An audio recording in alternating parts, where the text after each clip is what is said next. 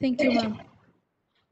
So, as you can see here in this slide, there are different modes of entry into international business. Starting from exporting, licensing, joint venture, manufacturing, assembly operation, management contract, turnkey operation, acquisition, mergers, strategic alliances. There are different ways in which any organization, any company can embark on the path of international business. When you go to the next slide, please understand that when a company is embarking on international venture, there are two primary considerations. The first is the extent of ownership that the company would like to have across different markets that it chooses to serve. Second is the intensity of investment. How much is the capital that the company would be interested to invest in these different markets? Okay, so that primarily defines what will be the mode of entry. Now let's let me explain it further. If a company is uh, not looking at the control and decision making with respect to an international venture, some of the available options if the level of investment or the capital that you wish to use for that particular venture is low then you can either identify a distributor in that particular nation or an agent or a representative or you can have a correspondent in that particular nation who will take care of the distribution channel okay? But there is another option that is available and that is what you call as a typical arm's length agreement licensing or there is another form of this which is franchise. So licensing and franchisee is a contractual agreement between the parent organization and the licensee and uh, against some percentage of profit based on the sales, the MNC gets the return. So this is what you call as the mode of entry when the company is looking at limited control of operations and is willing to spend only a part of the capital for market development. But when the company is looking at limited control but is willing to spend more money, it can go for some or the other form of joint venture.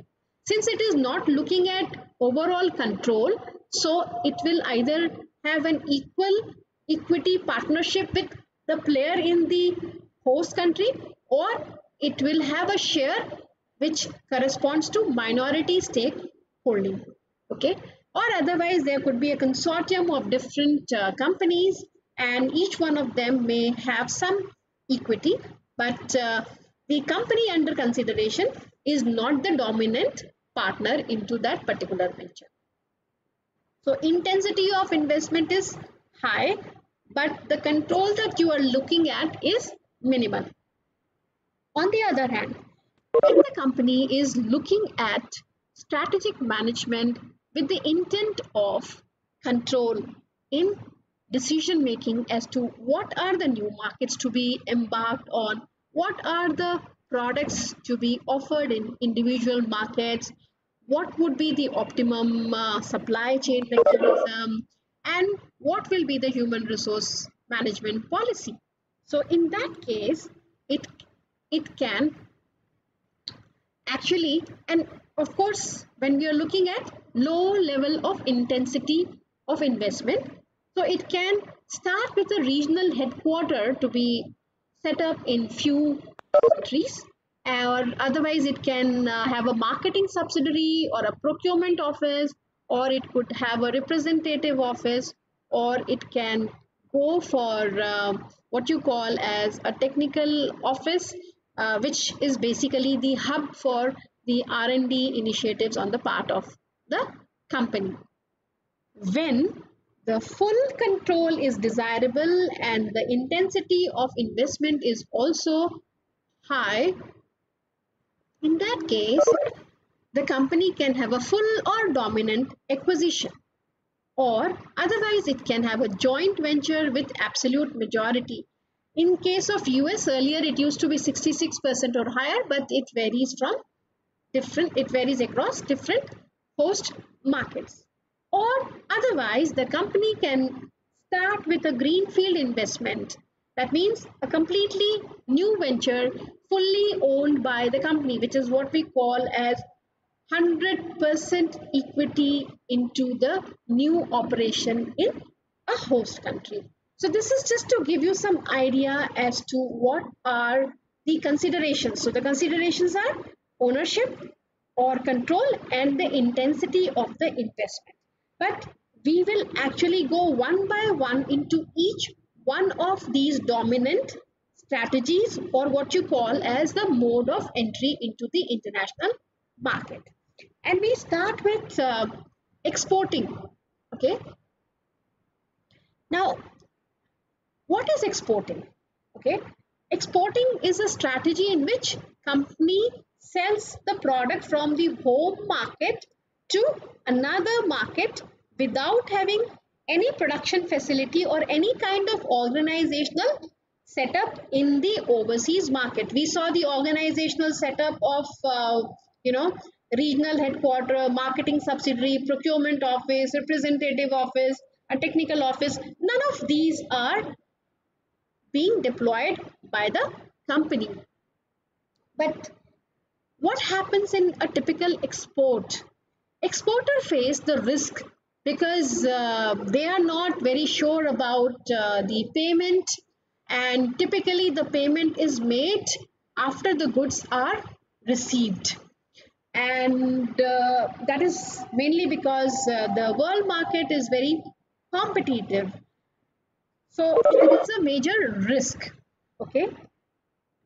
But then there are certain advantages as well.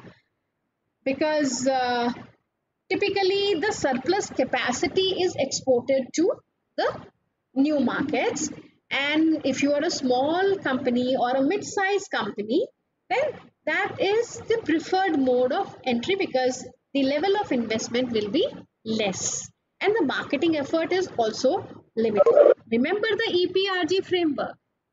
In ethnocentric orientation, what happens is that the company believes that the products and the services that it offers are good enough to be sold across different markets. And in export, this is primarily the intent and therefore very little marketing effort is also required. But then the exporter has to trust someone they have never seen. Now this exporter is selling to an importer who lives in a different country, who speaks a different language and uh, we do not even know about the legal system. How stringent and strong is the legal regulatory system in that particular nation. Suppose the importer doesn't make the payment or indulges in some or the other kind of fraud. Is there a system to take care of this particular problem? Sometimes it is very difficult to track down if the importer actually defaults on an obligation. But uh, the, the basic promise of exporting is that large revenue and profit opportunities are found in foreign markets for most firms in most industries. Um, I can give you an example. There is a company called Marlin Steel Wire Products. It's Baltimore, USA based company and it manufactures wire baskets and fabricated metal items. And uh, it also, among the specialty product, it has baskets to build dedicated parts for aircraft engines and automobiles. It even caters to companies such as Boeing. But it is a small entity. So like many other small businesses, they did not have the history of exporting. But uh, in around mid 2000, um, they uh, actually started you know exporting in small numbers to the nearby mexican and canadian market. And soon they realized that export sales could be the key to the growth of the company.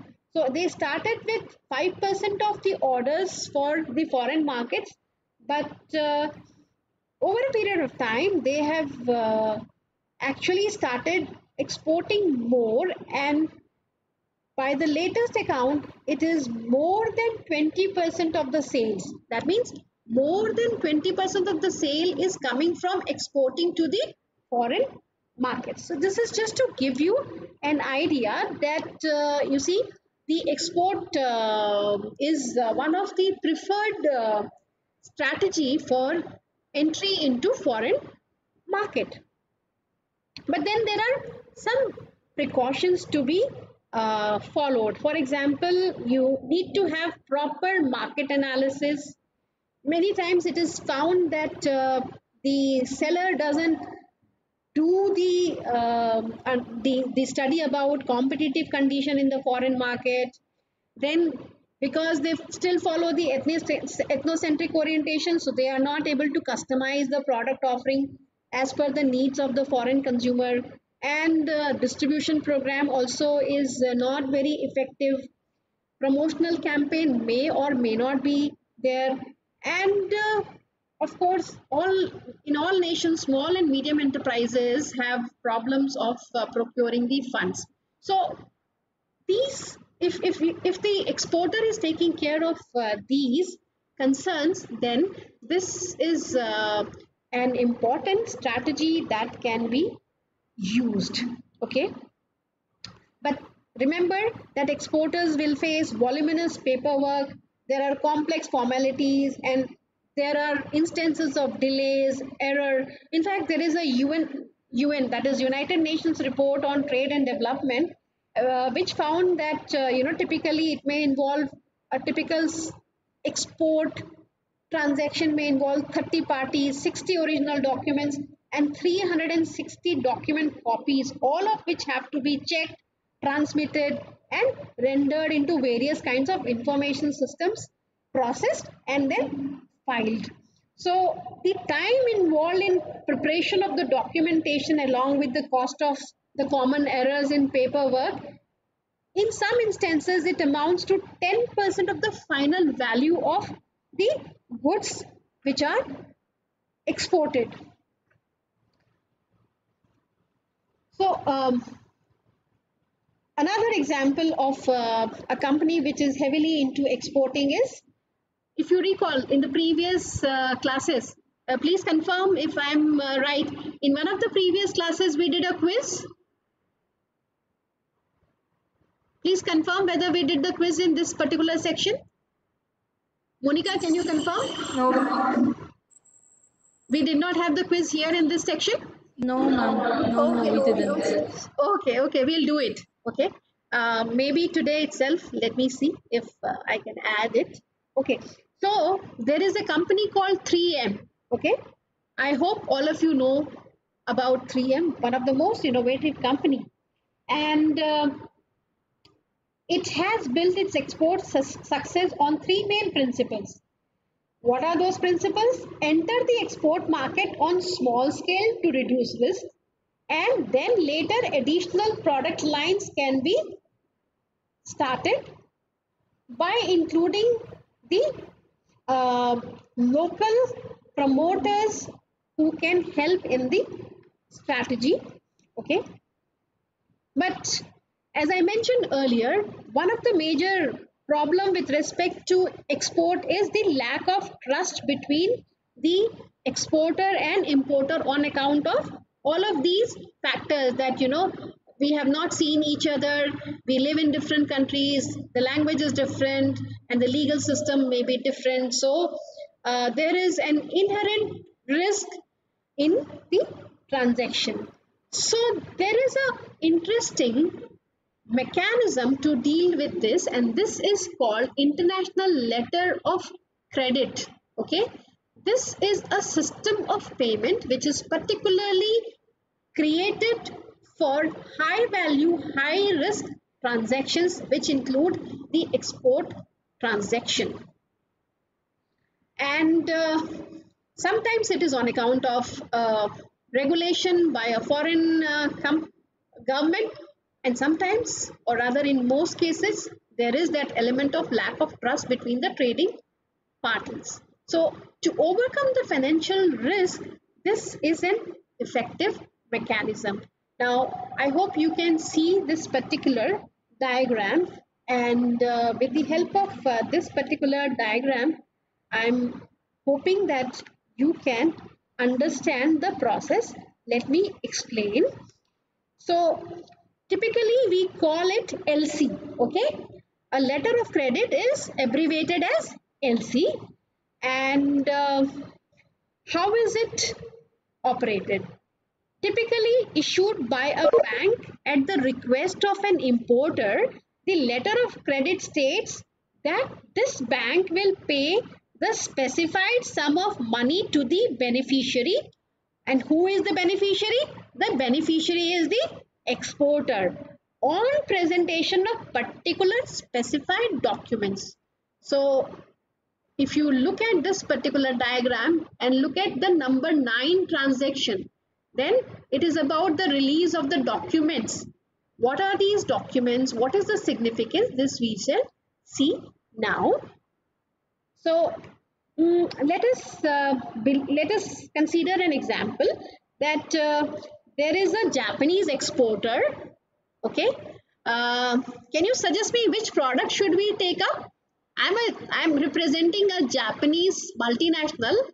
Can you help me to identify the product that uh, I can take up? Anyone?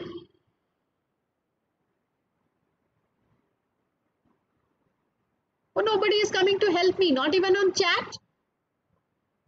Okay, so let us say that uh, we are taking up uh, the product of uh, handmade garments okay? Handmade garments which is a specialized uh, set of garments okay?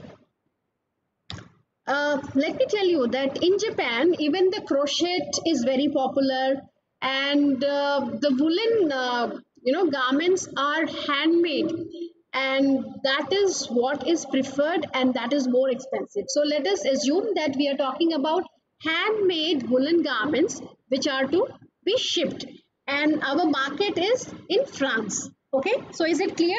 So I am a multinational involved into clothing and I am dealing with the product which is the handmade woolen garment and the importer is in France. Okay, so what happens is that the French importer will apply to her local bank, let us say it is the Bank of Paris, for the issue of letter of credit. And the Bank of France will then undertake a credit check of the importer. Okay, so they will do the due diligence with respect to this particular French company. What are the credentials of this company, the financial standing and previous credit transactions okay? So once the bank is satisfied with the credit worthiness it will issue a letter of credit. But then the bank of paris will also require a cash deposit or some other form of collateral from the company. So as you can see that uh, you know sorry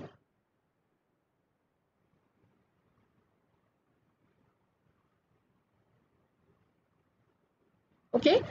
You can see the first step is that there is a sales contract between the company that is the uh, Japanese company and the importer which is the French company.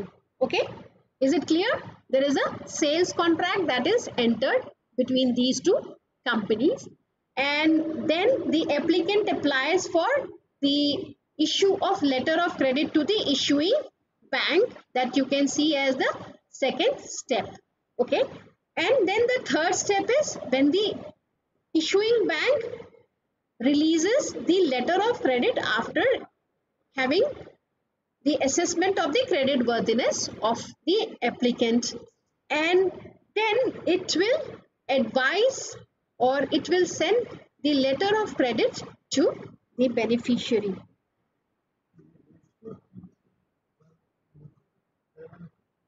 I've, uh, just a minute. I've already informed. Uh, I have my class. I will not be able to come. Okay, so as you can see, the fourth step is where the bank actually issues the letter of credit to the company in Japan. But then that also is through another bank. Okay. Now, where is the issue of bank coming up here? Okay.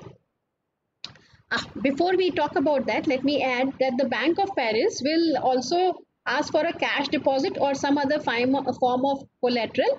In addition to that, it will charge importer a fee for this service. Okay, nothing comes for free. So uh, typically this amount is between 0.5% to 2% of the value of the letter of the credit. And uh, this will depend on the importer's credit worthiness and the size of the transaction. And as a rule, the larger the transaction, lower will be the percentage. So now let us assume that the Bank of Paris is satisfied with the French importer's credit worthiness and agrees to issue a letter of credit. Sorry. So this letter states that the Bank of Paris will pay the Japanese exporter for the merchandise as long as it is shipped in accordance with the specified instructions and the conditions. Now the instructions and conditions are already defined in the sales contract which is part 1 of uh, this particular process. The Bank of Paris then sends the letter of credit to the Japanese exporters bank. Uh, let's say this uh, bank is Mitsubishi. Uh, mm, okay.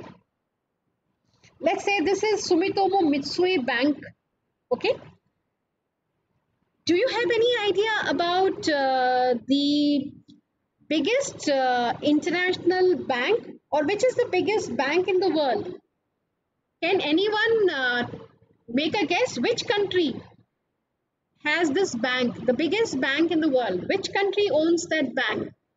Or rather, in which country is this bank situated? The largest bank in the world. Which is the bank and in which country is it situated? Can anyone try? Ma'am, I'm not sure, but maybe Switzerland. Pardon? I'm not sure, but maybe Switzerland. No, it's not. It's not. It is ICBC. China. It is yes, yes, you're right. It is China, and the bank is ICBC. Okay. ICBC, yes. Yeah. Okay.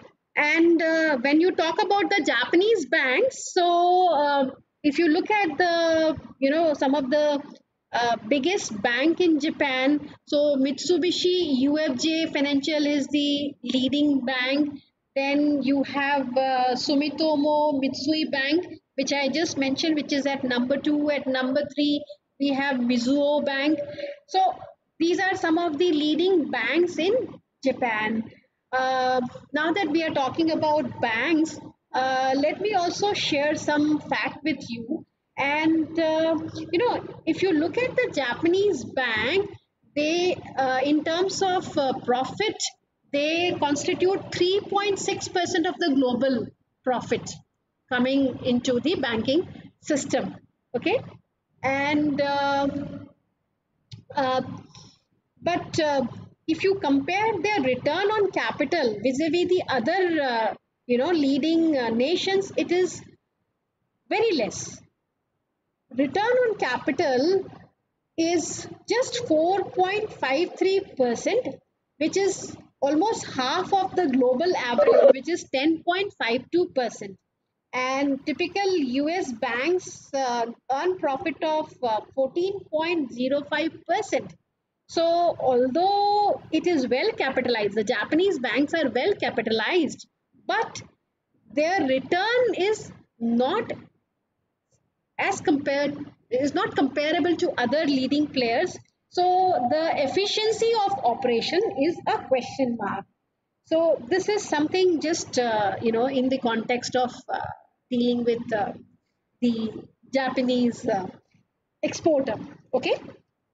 So uh, now the bank will tell the exporter that it has received a letter of credit and that he can ship the merchandise. After the exporter ships the merchandise, he draws a draft against the Bank of Paris in accordance with the terms of the letter of credit, attaches all the required documents and presents the draft to the bank okay for payment. Which bank? Sumitomo mitsui bank okay?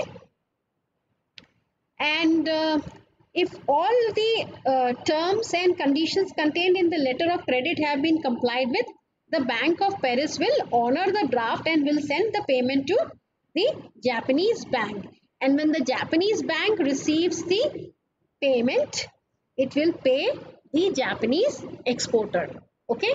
So this is the typical you know transaction and how the letter of credit takes place. So the issuing bank and the advising bank actually are the intermediary in this transaction who bring in the element of trust because the leading banks are involved therefore the financial risk is minimal okay is there any question so far? Okay. You can mention on chat or otherwise you can unmute and ask me the question. Otherwise we move to the next part. So uh, we have seen how the issue of uh, risk is taken care of through the letter of credit and there are other avenues as well. But we will talk about them later on when we deal with international financial management. So we saw that this is not an optimal strategy because we are not in continuous uh, touch with the consumer. We are not able to find out their taste and preferences. We are still believing that what we offer to our consumers in our home country is the best way to deal with the market, which is not right. So product modification obviously is not happening and we are not responding effectively to consumers' response. But then there is another problem, and that is the risk of strong home currency, or rather, the fluctuation in the currency. Now, um, I have a question again for all of you. We normally use two words devaluation of the currency and depreciation of the currency. So, can anyone answer this question as to what is the difference between these two terms? You can also refer to the web sources and answer. Can anyone try?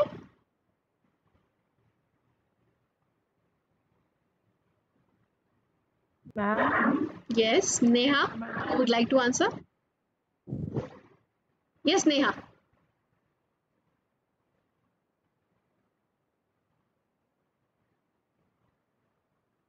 Or somebody else would like to try. Um, ma'am, ma'am, when government adjusts deliberately the the foreign exchange de- devaluation, and when the the price is changed due to the pl- forces of market supply and demand, then it is depreciation. I think we need to have a round of applause for Neha. Yes, she is correct. That is the major difference. The market forces determine the price of the currency, and this kind of adjustment on the lower side is what we will call as the depreciation of the currency vis-a-vis the other foreign currency. But when the government consciously decides to lower the price of the currency vis-a-vis the other currency in the international market, this is what we call as devaluation. And uh, if you look at the you know history of Japanese uh, government and the way they have dealt with uh, the Japanese currency, you will find that they have gone ahead with various uh, rounds of devaluation of the currency because the intent is to ensure that the you know home currency is not strong so that our exports are more competitive and uh, less priced as compared to other nations. Very good. So we saw that there are certain limitations with respect to this particular option and uh, therefore we move to the other better option which is licensing. Uh, before we talk about licensing and uh, how does licensing help, um, you have to again create the diagram to explain how the letter of credit operates. I will give you five minutes break or how much time do you require? 10 minutes. So take 10 minutes time and create the diagram for letter of credit. Okay. So this is the assignment because that will help you to understand as to how the system operates. And then I will ask any of you just five minutes because uh, uh, Ankita, five minutes or uh, 10 minutes?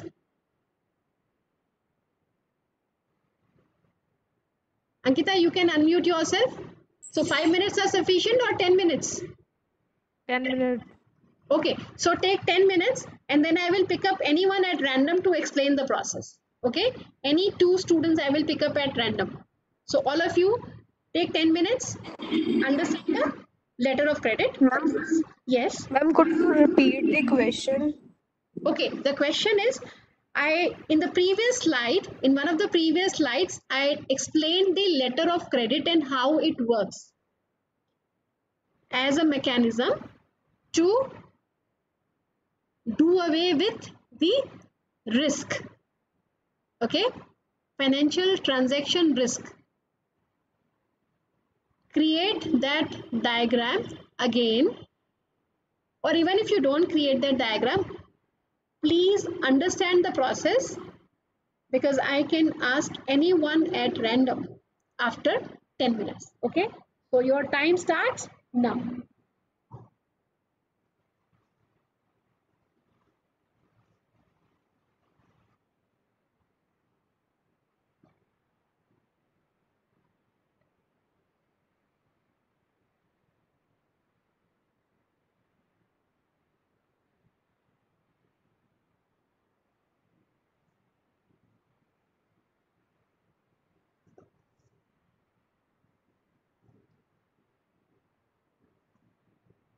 It's a very simple process.